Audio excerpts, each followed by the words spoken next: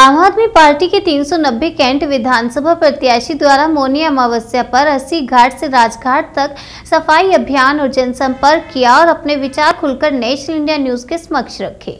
नमस्कार, मैं कुछ कुमार पांडे। इस समय वाराणसी के 80 घाट पर मौजूद हूँ और जैसा कि 390 कैंट विधानसभा से राकेश पांडे जी का टिकट जो एकदम पक्का हो चुका है और आज वो 80 घाट से राजघाट तक जा रहे हैं सफ़ाई के लिए। आज हम उनसे बातचीत करते हैं कि वो किन मुद्दों पे चुनाव लड़ रहे हैं और उनका क्या मकसद है। सबसे पहले सर आप अपना परिचय बता दीजिए। राकेश पांडे विधानसभा 390 आम आदमी पार्टी से मुझे कैंट विधानसभा से टिकट मिला है।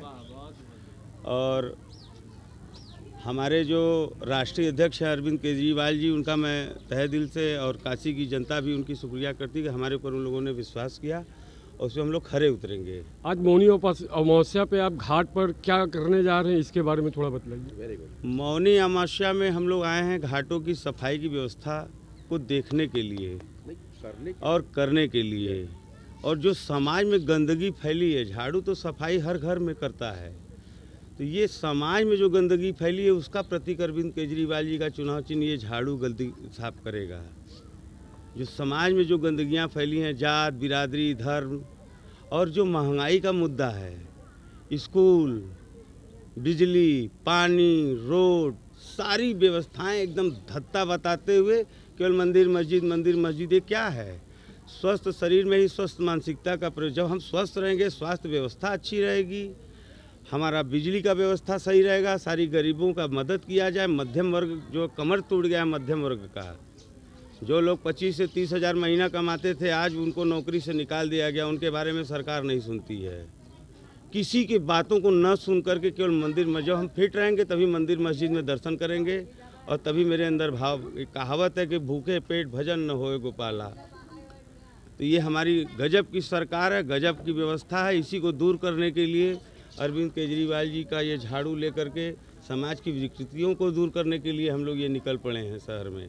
क्या वर्तमान समय में जो गवर्नमेंट है क्या आप उससे असंतुष्ट हैं? जैसे कि बिजली की आपने बातचीत किया तो पहले आप देख लीजिए 2014 के पहले बिजली कितनी आती थी कितनी नहीं आती थी लेकिन आज के समय में 22 घंटे आदमी को बिजली मिल रहा है। इस पर आपका क्या क्या कहना है? हम क्या कर? रहे हैं दिल्ली में 24 घंटा बिजली नहीं है क्या? क्या बात तीन सौ यूनिट बिजली फ्री नहीं है क्या? वहाँ पानी फ्री नहीं है क्या? आज जो कमर तोड़ महँगाई है, हमको सिलेंडर कब चार सौ रुपये का मिलेगा? हमको जो 200 का तेल है, वो सौ रुपये में कम मिलेगा? इसकी कोई बात नहीं करेगा। आप सब्ज़ी सारा महँगा हर जगह टैक्स, बच्चों का शिक्षा का व्यवस्था इतना धत्ता हो गया है कि उस पर कोई बात नहीं। आप कोरोना काल में देखिए कि एक एक रात का डेढ़ डेढ़ दो दो लाख रुपया लिया गया। किस चीज़ का? जब उसका कोई दवा इलाज नहीं निकला है सरकार उस पर कोई जाँच बैठाई? आप बताइए। तो सारी सिस्टमें मिल के केवल जनता को लूट रही है। इसी के लिए जो आप देखिए, दिल्ली एक पूरे विश्व में एक विदेशों से लोग आकर के दिल्ली के शिक्षा मॉडल को देखने आ रहे हैं। क्यों? प्राइवेट स्कूल से लोग नाम कटवा करके दिल्ली के सरकारी स्कूलों में आ रहे हैं। तो दिल्ली की जनता तो खुशहाल है। जो जो पुल 500 करोड़ में बनते थे, वही केजरीवाल जी 200 करोड़ में बनवाए और 300 करोड़ रुपया दे दिया कि ये जनता का पैसा इसे बिजली, शिक्षा, स्वास्थ्य उन्होंने दे दिया। आज पूरे हिंदुस्तान में लोग बीमार होते तो दिल्ली क्यों जाते हैं? हमारे यहाँ भी काशी की धरती पे एम्स है, ट्रामा सेंटर है। आप बताइए वहाँ कितनी दलाली हो रही है, कितने वेंटिलेटर की व्यवस्था है? यही सरकार है। केवल मंदिर, मस्जिद और हिंदू हिंदू खतरे में है, मुस्लिम क्या सिस्टम चल रहा है? हमारे समझ में नहीं आ रहा है। हम काशी की जनता से कहेंगे कि इस बार ये जो झाड़ू है ना ये सफ़ाई का प्रतीक है तो जो मानसिकता गंदगी का ये लोग समाज में फैलाए हैं हम लोग गंगा जमनी तहजीब के रहने वाले लोग हैं काशी की धरती की लोग। तो उनकी सड़ी मानसिकताओं को इस झाड़ू रूपी से लेकर उनके दिमाग में डस्टर से मिटाने का काम करेंगे हम लोग। आगामी 2022 चुनाव के लिए आप काशी की जनता को अपनी तरफ़ से क्या संदेश देना चाहेंगे? हम यही कहेंगे कि ये वोट अपना एकदम सोच समझ के दीजिए, जो आपके लिए काम करे।